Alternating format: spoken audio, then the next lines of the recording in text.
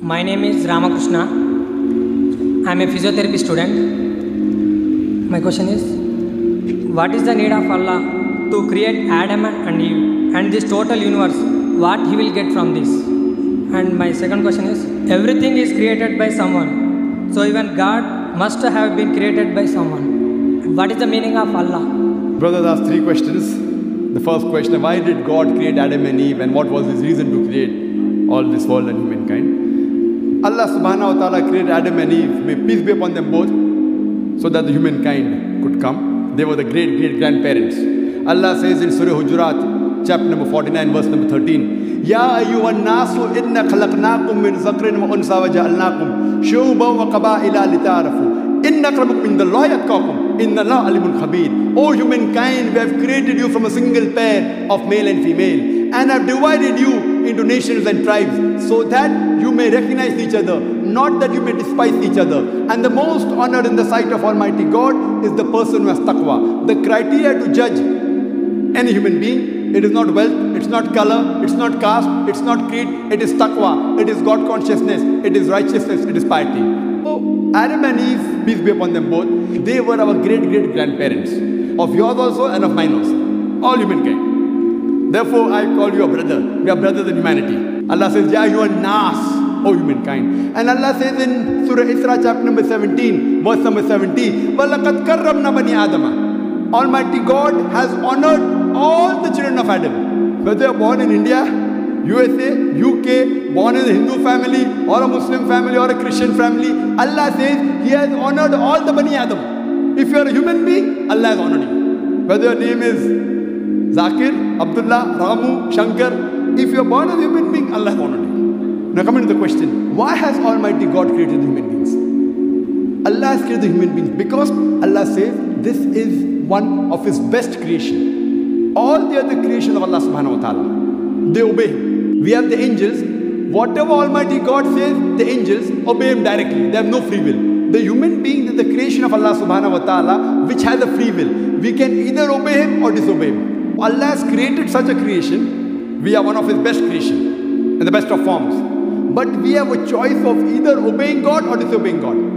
If we obey God, we will go to Jannah, we will go to Swarg, we will go to heaven. If we disobey Him, we will go to hell We will go to Nark. So, this is a test for the hereafter. Allah says in Surah Mulk, chapter number 67, verse number 2, Allazi khalaqal mawta wal hayata. It is Allah who has created death and life to test which of you is good in deeds. So, this life is a test for the hereafter. So, Allah has created the human beings, and Allah says in Surah Dhariyat, chapter number 51, verse number 56, وَمَا خَلَقْتُ الْجِنَّ وَالْإِنسَ إِلَّا لِيَعْبُدُونَ That we have created the jinn and the men not but to worship Him. So we supposed to worship, obey the commandment of Allah subhanahu wa ta'ala. This is a different creation of Allah subhanahu wa ta'ala, which has the free will of even going against Allah subhanahu wa ta'ala or obeying All the other things, the stars, the trees, the mountains, the Quran says they do sajda to Allah subhanahu wa ta'ala, they prostrate to Him, they obey Him. We have a free will. Now, when Allah has given a free will, with the free will, if we obey Him, we become higher than the angels. With the free will, if we disobey Him, we become the partners of the devil. He's created us for the test for the hereafter. Coming to your second question. Everything has a creator who created God. If anyone says everything has a creator, it is a wrong statement. Every created thing has a creator. The definition of God is He is uncreated. The moment you say who created God, He is not God. The definition of God is He is uncreated. Suppose a person comes and asks you, that brother, my friend John, he was admitted in the hospital. He gave birth to a child. Can you guess, was it a girl or a boy? Can you guess? Try it out. Guess?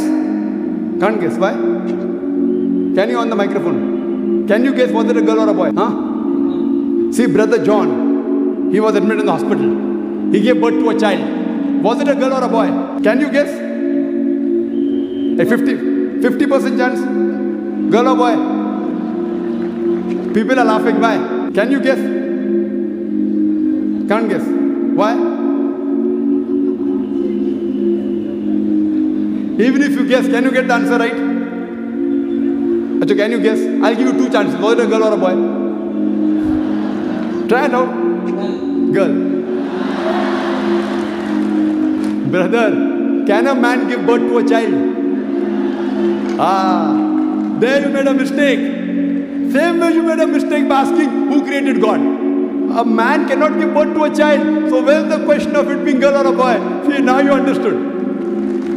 Ah, now that's good, brother. So it was a man cannot give birth to a child. So where's the question of a girl or a boy? So when you're asking who created God, God by definition, Allah by definition is uncreated. The moment you say who created Allah, He's not Allah. There's nothing like Him. Coming to your last part of the question, who is Allah? Who is Allah?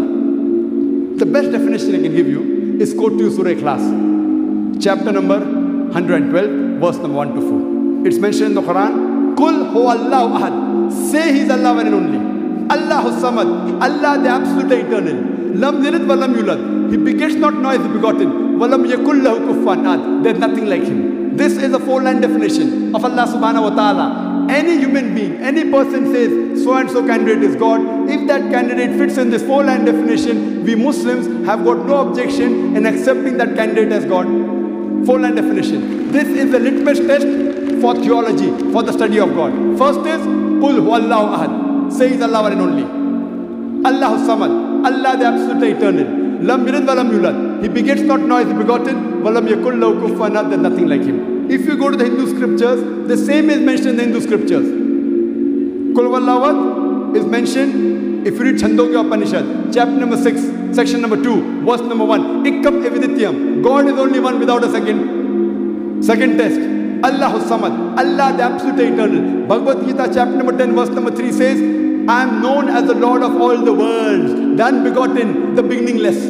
Third test. Lam yalid wa lam yulad. He begets not nor is begotten. It's mentioned in the Shvetashvatara Upanishad, chapter number 6, verse number 9. Nachasya kasij, janita na chadipa. Of him there are no lords. He has got no parents. Almighty God has got no father. He has got no mother. And Valam Yakullahu Kufanad, there nothing like him, is mentioned in Shvetashvatara Upanishad, chapter number 4, verse number 19, and Yajurved, chapter number 32, verse number 3, where it says, Natasya Pratima Asti. Of that God, there is no Pratima, there is no idol, there is no image, there is no photograph, there is no sculpture. Who says that? Yajurved, chapter number 32, verse number 3. Same as Yakullahu Kufanad. So any person saying so and so candidate is God, if that candidate fits in this four line definition, we Muslims have got no objection in accepting that candidate as God. For example, some people say Bhagwan Rajneesh is Almighty God. Once during question answer time, a Hindu told me, we don't believe Bhagwan Rajneesh to be God. I never said that the Hindus believe Bhagwan Rajneesh is God. I said some people believe Bhagwan Rajneesh to be God. Let us put this Rajneesh to test. First test is Kul Huwallahu Ahad. Say is Allah one and only. Was Rajneesh one and only? Was he the only man who claimed divinity? There are hundreds of them. And in this country, we have thousands of men who have claimed divinity. He's not the only one. But Rajneesh Bhaksi said, no, no, he's unique. Let's go to the next test. Allahu Samad. Allah, the absolute eternal. Was Rajneesh absolute eternal? We know from his biography, from his autobiography, he was suffering from asthma, from diabetes, from chronic backache. Imagine Almighty God suffering from asthma, diabetes, chronic backache. Third test, Lam Yalid Valam. He begets not nor is begotten. Bhagwan Rajneesh was born in Madhya Pradesh. He had a father and mother. In 1981, he goes to America, USA, and he takes thousands of Americans for a ride. In the state of Oregon, he starts his center and calls it as Rajneeshpuram, his village. Later on, the American government arrests him and put him behind bar. Rajneesh says, the American government slow poisoned me. Imagine Almighty God being slow poisoned.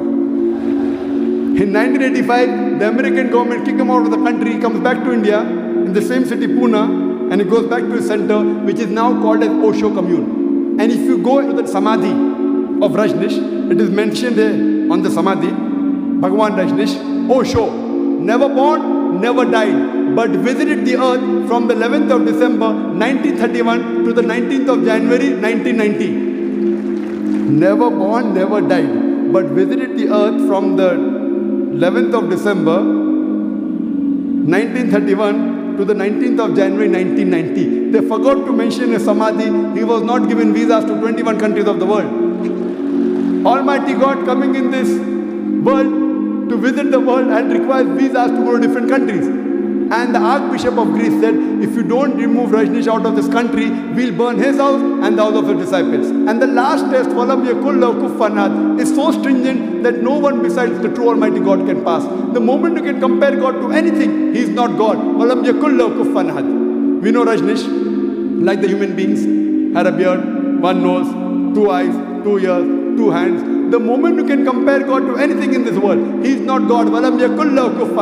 If someone says Almighty God is thousand times stronger than Arnold Schwarzenegger. When I've heard the name of Arnold Schwarzenegger. Have you heard Arnold Schwarzenegger? The person who got the title Mr. World, Mr. Universe. The strongest man in the world, the strongest man in the universe. The moment you can compare God to anyone, whether it be Arnold Schwarzenegger, whether it be Dara Singh, whether it be King Kong whether it be a thousand times or million times. The moment you can compare God to anything in this world, He is not God.